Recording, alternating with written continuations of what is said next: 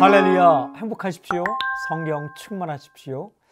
누가복음 23장 33절부터 43절까지가 오늘 말씀 본문입니다. 그 가운데 41절 42절 43절 말씀.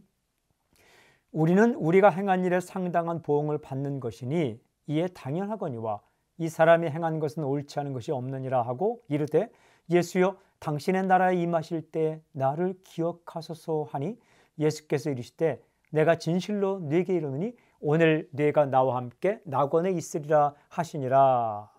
방금 읽은 구절은 예수께서 십자가에 돌아가실 때에 그 옆에서 죽어가던 강도가 한 말과 예수님의 말씀을 기록하고 있습니다. 예수님께서 하신 가장 중요한 말씀이 이렇게 되어 있어요. 오늘 내가 나와 함께 낙원에 있으리라.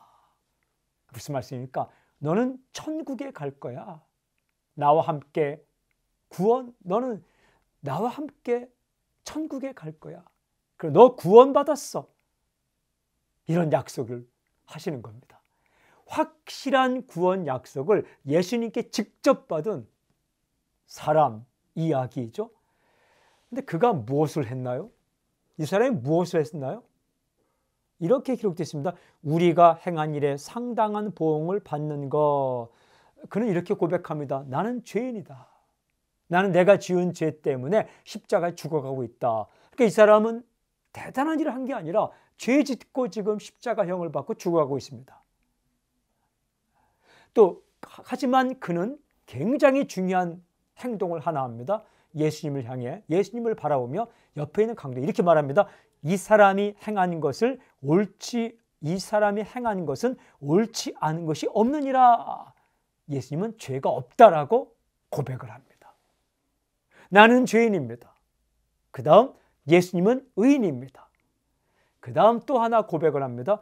예수여 당신의 나라에 임하실 때에 나를 기억하소서 예수님을 하나님의 아들로 고백합니다.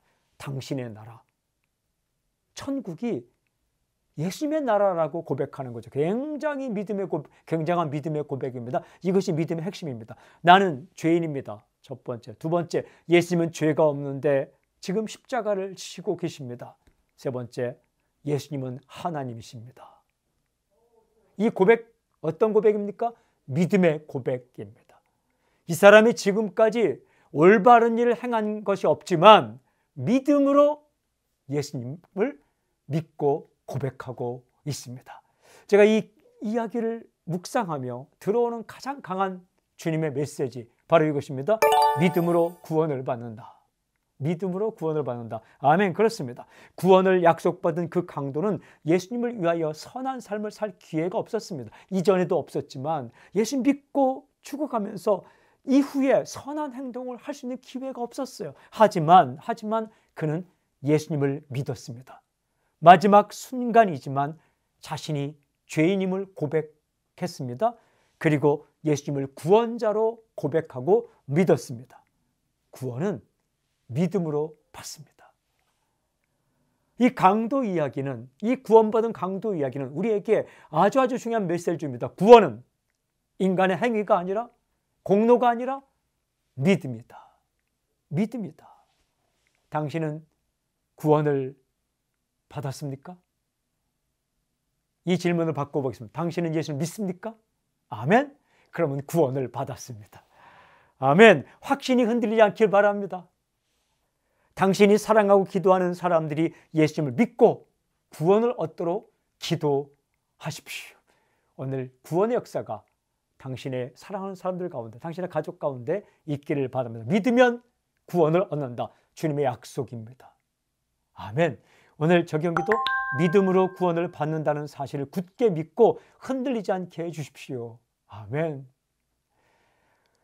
하나님 부족한 우리 인생입니다. 최선을 다해 아름답게 살려고 하지만 실수투성인 우리 인생입니다.